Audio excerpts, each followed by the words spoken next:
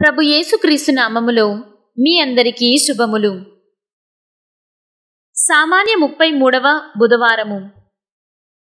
సర్వశక్తి మంతుడను దేవుడును అయిన ప్రభువు పవిత్రుడు ఆయనయే త్రికాలస్థితుడు.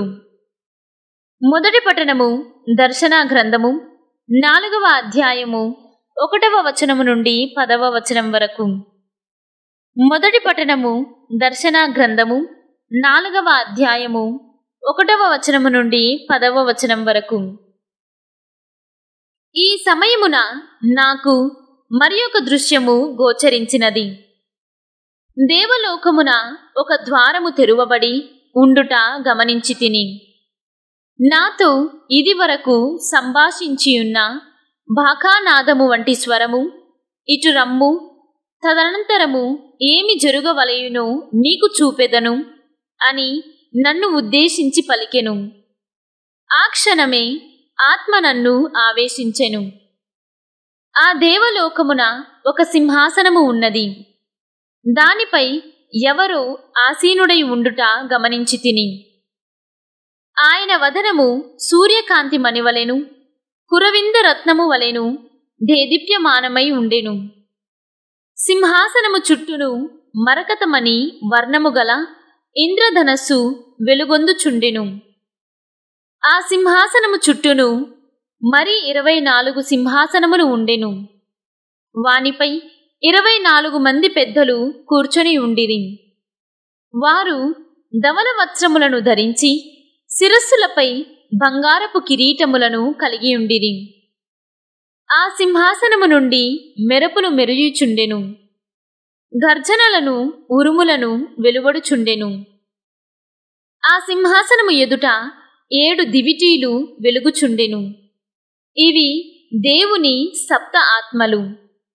సింహాసనమునకు ఎదురుగా స్ఫటికము వలె స్వచ్ఛమై పారదర్శకమై సముద్రము వలె గోచరించునది ఏదియో ఉండెను.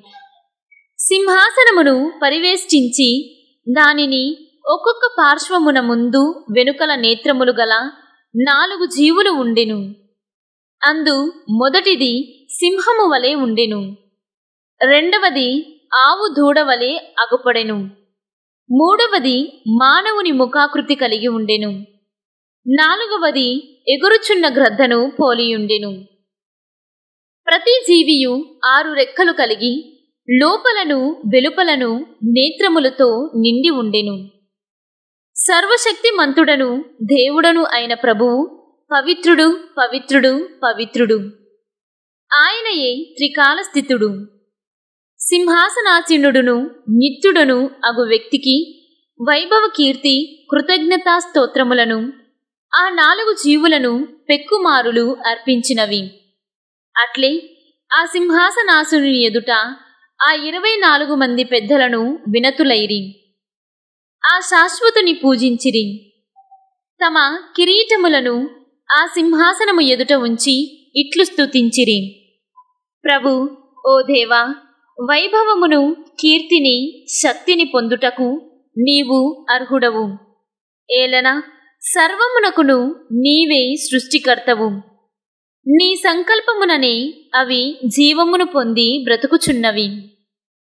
ఇది ప్రభు వాక్కు సర్వేశ్వరునికి వందనములు. భక్తి కీర్తనం. సర్వశక్తి మంతుడను దేవుడను అయిన ప్రభువు పవిత్రుడు పవిత్రుడు పవిత్రుడు. సర్వశక్తి మంతుడను దేవుడను అయిన ప్రభువు పవిత్రుడు పవిత్రుడు పవిత్రుడు.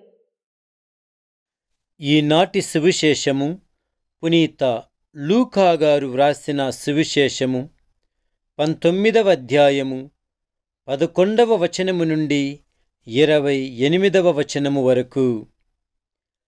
ఆయన ఎరుషులేమును సమీపించుచుండుట వలన పరలోక రాజ్యము వెంటనే అవతరింపనున్నదని ప్రజలు తలంచుచుండుట వలన ప్రజలు ఈ మాటలు వినుచుండగా యేసు వారికి ఒక ఉపమానమును చెప్పెను. యేసు ఇట్లు చెప్పనారంభించెను. గొప్ప వంశస్థుడు ఒకడు రాజ్యము సంపాదించుకుని రావలియునని దూరదేశమునకు వెళ్ళెను. అతడు తన పది మంది సేవకులను పిలిచి తలాకొక నాణ్యమును ఇచ్చి నేను తిరిగి వచ్చు వరకు ఈ ధనముతో వ్యాపారము చేసుకొనుడు అని చెప్పెను. ప్రజలు అతనిని ద్వేషించిరి. అందుచే వారు ఇతడు మమ్ములను పరిపాలించుట మాకు సమ్మతము కాదు అని రాయబారులతో చెప్పి పంపిరి. అతడు అట్లు రాజ్యమును సంపాదించుకొని తిరిగి వచ్చినప్పుడు ఒక్కొక్కడు ఎటుల వ్యాపారము చేసినది తెలుసుకొనుటకు సేవకులను తన వద్దకు పిలిపించెను. మొదటివాడు వచ్చి అయ్యా నీవిచ్చిన సొమ్ముతో ఇంకను పది నాణ్యములు సంపాదించి తిని అని చెప్పెను. అందుకు అతడు ఆ సేవకునితో మంచిది నీవు నమ్మిన బంటువు స్వల్ప విషయములందు శ్రద్ధ వహించితివి కనుక నిన్ను పది పట్టణములకు అధిపతిని చేసేదను అనెను. రెండవ వాడు వచ్చి అయ్యా నీవిచ్చిన సొమ్ముతో ఇంకను ఐదు నాణ్యములను సంపాదించి తిని అని చెప్పెను.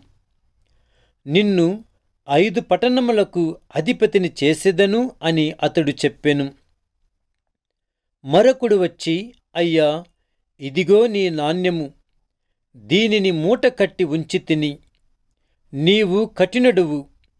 నీవు అనినా నాకు భయము. నీవు ఈయని దానిని తీసుకొనిదవు. విత్తని దానిని కోయుదువు అని చెప్పెను. అందుకు అతడు ఓరి దుష్టుడా నీ మాటలతోనే నీవు నిన్ను దోషినని రుజువు చేసుకొంటివి. కఠినుడనని పెట్టని దానిని తీసుకునదనని విత్తని దానిని కోసికొనదనని నీవు ఎరుగుదువు. అట్లైనచో నా సొమ్మును ఎందుకు వడ్డీకి ఇవ్వలేదు? నేను తిరిగి వచ్చినప్పుడు వడ్డీతో సైతము పుచ్చుకొనేవాడను అని చెప్పి అతడు చెంతనున్న వారితో వాని వద్ద ఆ నాణ్యమును తీసుకొని పది నాణ్యములున్న వానికిండు అని చెప్పెను. అప్పుడు వారు స్వామి వాని వద్ద ఇప్పటికే పది నాణ్యములు ఉన్నవి గదా అని పలికిరి. అందుకు ఆయన ఉన్నవానికే ఇంకను ఇవ్వబడును. లేనివాని నుండి వాని వద్దనున్న కొంచెము కూడా తీసుకొనబడును. మంచిది. నా పాలన అంగీకరింపని నా శత్రువులను వెంటనే ఇచ్చటకు తీసుకొని వచ్చి నా సమక్షముననే వారి తలలు తీయుడు అని అతడు చెప్పెను. యేసు ఈ మాటలు చెప్పి ఎరుషులేమునకు వారికంటే ముందుగా పయనించెను. ఇది క్రీస్తు సువిశేషము. క్రీస్తువా మీకు స్థుతి కలుగునుగాక.